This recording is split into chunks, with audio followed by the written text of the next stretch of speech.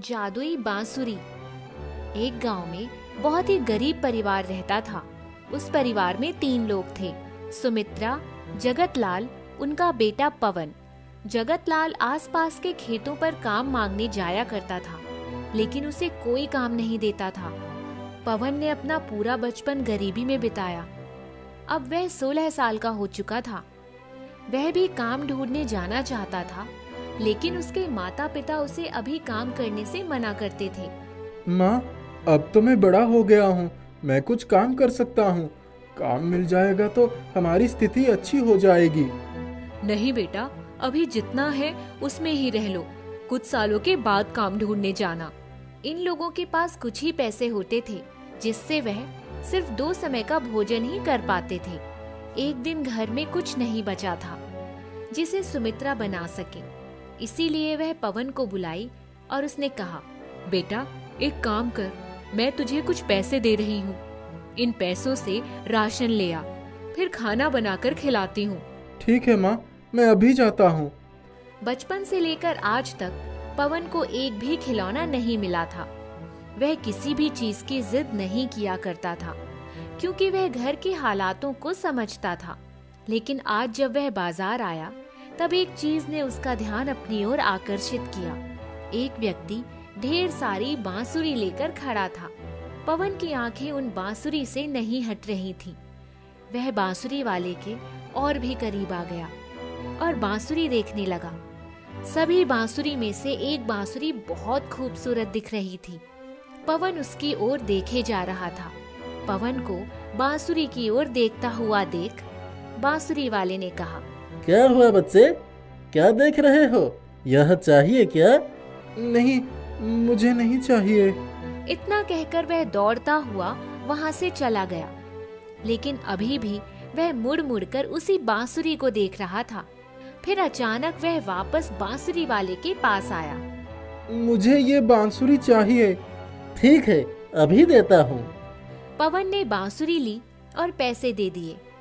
बांसुरी पाकर वह बहुत खुश हुआ और लगातार उसे बजाता रहा। फिर कुछ घंटों के बाद घर पहुँचा। पवन इतने घंटों से कहाँ थे तुम? तुम्हें पता है ना मैं कब से राशन का इंतज़ार कर रही हूँ। चलो अब जल्दी से खाना बनाना शुरू करती हूँ। माँ राशन नहीं आ पाया। क्यों? पवन अपनी जेब से बांसुरी निकालता है और माँ को दिखाता है। मैंने उन पैसों का ये बांसुरी खरीद लिया। क्या? तुम्हारे पास दिमाग है या नहीं? तुम्हें घर की हालत का पता है या नहीं? क्या ज़रूरत थी इसे खरीदने की? अब क्या हम इस बांसुरी को खाएँगे? जगत लाल भी घर आता है और यह देखकर पवन पर बहुत गुस्सा करता है। पवन हम बहुत पैसे वाले नहीं है। जो मन में आए वो खरीद लो। इसकी क्या ज़रूरत थी? खाने के पैसों का तुमने बांसुरी खरीद लिया। बहुत ही मूर्ख हो गए हो तुम। सुमित्रा मैं थोड़े पैसे ले आता हूँ। रुको। इससे ही राशन लेकर आता हूँ। माँ पिताजी दोनों से इतनी डांट सुनने के बाद पवन रोने लगता है और रोते रोते घर से बाहर आ जाता है। एक नदी के किनारे आकर बैठ जाता है और अपनी किस्मत पर रोने लगता है। ये मैंने क्या कर दिया? माँ पिताजी सही कह रहे हैं। मैं खाने के बदले ये बांसुरी कैसे खरीद सकता हूँ? पता नहीं इस बांसुरी को देखकर मुझे क्या हो गया? आज इस बांसुरी की वजह से मुझे इतनी डांट सुननी पड़ी। मुझे नहीं चाहिए ये बांसुरी। पवन गुस्से में बांसुरी को नदी में फेंक देता है और घर चला जाता है। घर आकर माँ पिताजी से माफ़ी माँगता है और कहता है पिताजी अब से ऐसा कुछ नहीं करूँगा। माँ पिताजी उसे माफ़ कर देते हैं। आधी रात हो रही है। अचानक पवन के कानों में बांसुरी की धुन सुनाई देने लगती है। पवन कई बार उसे नजरअंदाज करने की कोशिश करता है। लेकिन बांसुरी की आवाज़ आनी बंद नहीं होती। ऐसा लग रहा था जैसे बांसुरी की आवाज़ पवन को अपनी ओर बुला रही हो। पवन उठा और आवाज़ का पीछा करने लगा। पीछा करते करते पवन उसी नदी के पास पहुँचा जिसमें उसने बांसुरी को फेंका था। अरे आवाज़ तो यहीं से आ रही है। एक पेड़ के पास से आवाज़ आती है। पवन इधर आओ। पवन मुड़कर देखा तो वहाँ बांसुरी खड़ी थी जिसे उसने नदी में फेंकी थी। बांसुरी बहुत चमक रही थी और पवन से बातें कर रही थी। पवन मेरे पास आओ। पवन आश्चर्य में पड़ जाता है फिर बांसुरी के पास जाता है। मैंने तो बांसुरी को नदी में फेंक दिया था फिर ये यहाँ कैसे?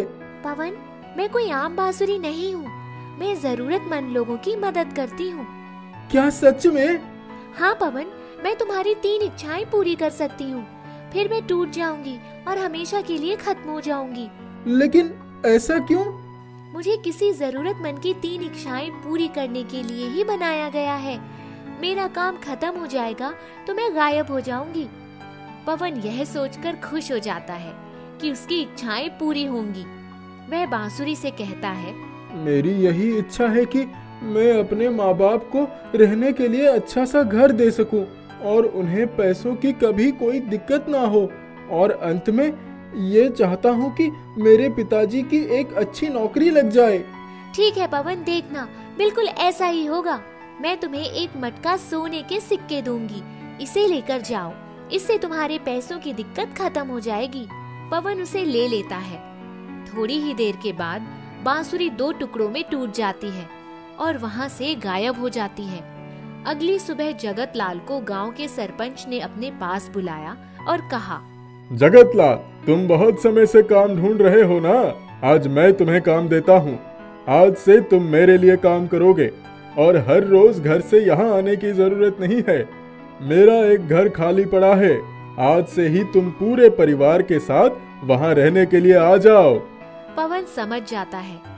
यह सब उसी जादुई बांसुरी का कमाल है। अब पवन का पूरा परिवार खुशी खुशी रहने लगता है।